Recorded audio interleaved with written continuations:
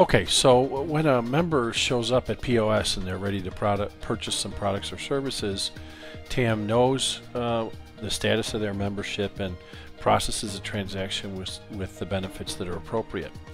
Um, there's two levels of benefits. There's a possibility for specialized pricing or a, or a flat discount on the transactions. There's also a capability for uh, member benefits products and services as we saw earlier in the demos when we set it up. Those are things that instead of giving them a voucher for a free tram ride or giving them a voucher for a free member guest, you're able to um, let TAM know that and then TAM will track it for them. Okay, so first of all, let's talk a little bit about that, the member benefits. Um, remember that, uh, like for example, in general admission here, I've got some member guest passes, and these are are member restricted. So a, a member has to be attached in order to sell those SKUs. So if someone were to pick that without a member, uh, a without a, uh, a, valid membership attached to the transaction, it's going to pop up uh, this message: a SKU can only be purchased by a member. Uh, obviously that gets cleared once a member is attached. So to attach a member at the sale, it's very straightforward. We touch the customer button, we scan their membership card. In my case, I'm going to go ahead and, and uh, just pull the member up here.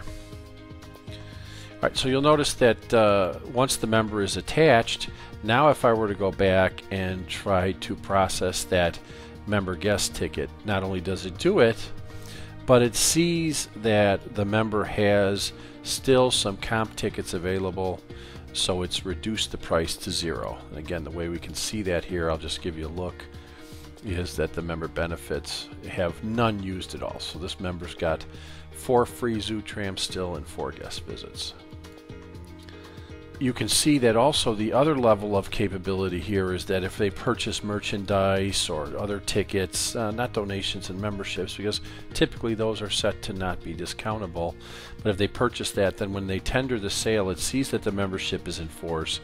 It lets the associate know that they're authorized for a discount, and then those discounts are applied accordingly. And then again, we tender the sale normally. So again, you can see how easy it is to attach an existing member to the sale and how quickly the benefits are tracked by TAM so the processing of that transaction is very straightforward.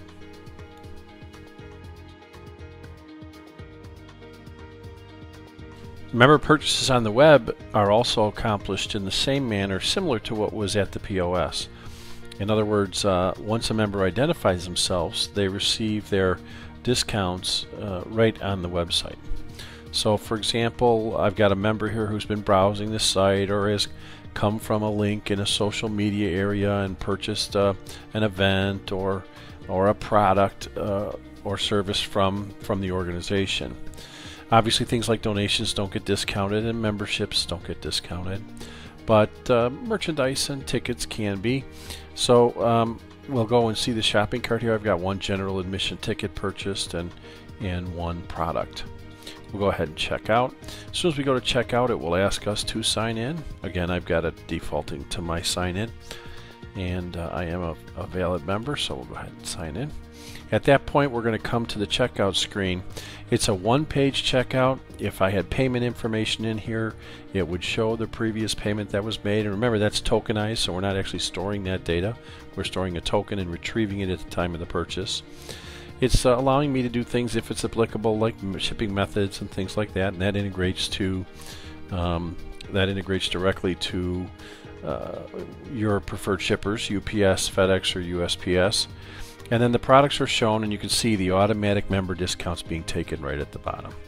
There's an area for comments, and again, payment information would need to be entered and then continued by processing the order. But it's a one-page checkout, very straightforward. Membership discounts are applied automatically.